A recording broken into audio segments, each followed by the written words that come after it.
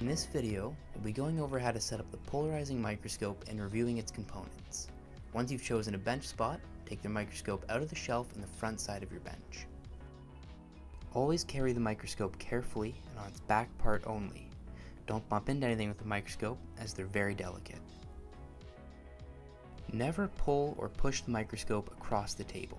This can immediately change adjustments in the stage and various other parts of the microscope. Always lift the microscope using the back part to move it. Plug the microscope into the outlet at your bench spot. Turn it on by using the green power button on the back right side of the microscope. Turn the knob below to adjust the light intensity. Look into the microscope eyepieces. If they seem dirty or dusty, use the provided wipes only. Other materials may scratch the lenses. Some eyepieces will have a crosshair, which will need to be adjusted for each user's vision specifications. To do this, adjust the dial closest to your eye until the crosshair is in focus. Next, we'll look at each component of the microscope and how they can be manipulated. The field diaphragm determines the illuminated area on the thin section. Rotating the field diaphragm ring changes the size of the field diaphragm. For normal observation, the diaphragm is set slightly larger than the field of view. Above is the lower polarizer. Normally, no adjustments are needed if this is set to 0, 0. If not set to 0, 0, ask the instructor, your TA, or the lab technician.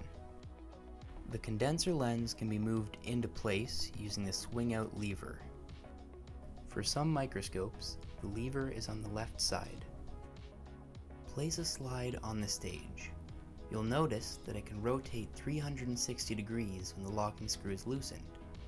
Make note of the degrees, as the labels can be used to measure angles between features, such as the extinction angle.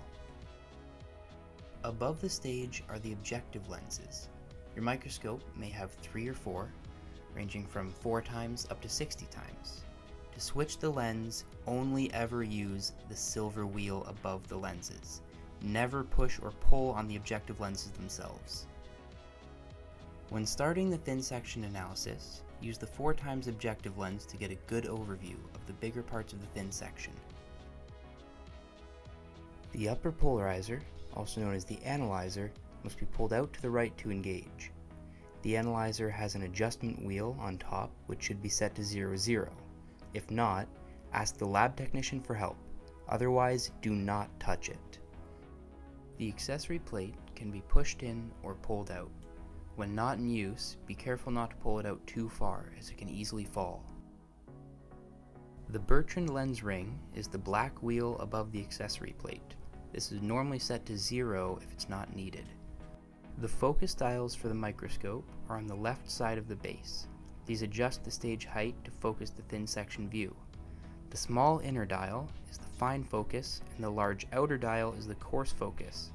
The coarse focus should never be used if the 40 times lens is in use. This is because the thin section could be pushed onto the objective above and damage both pieces, which are expensive to replace. To move the stage up, you have to turn the dials away from you, and to move the stage down, turn the dials towards you. There is also a fine focus knob on the right side of the base, which you can use if it's more comfortable.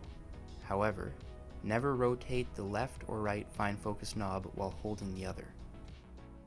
If you're unsure about anything, notify your TA or the lab technician before making any adjustments. When you're finished with the microscope, Move the objective back to the 4 times setting.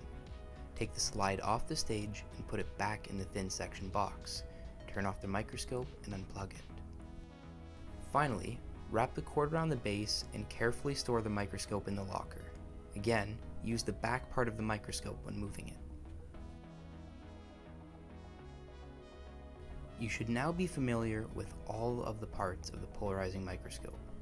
Watch the other videos in this series to learn more about the microscope's use, as well as some issues you may encounter when doing thin section microscopy.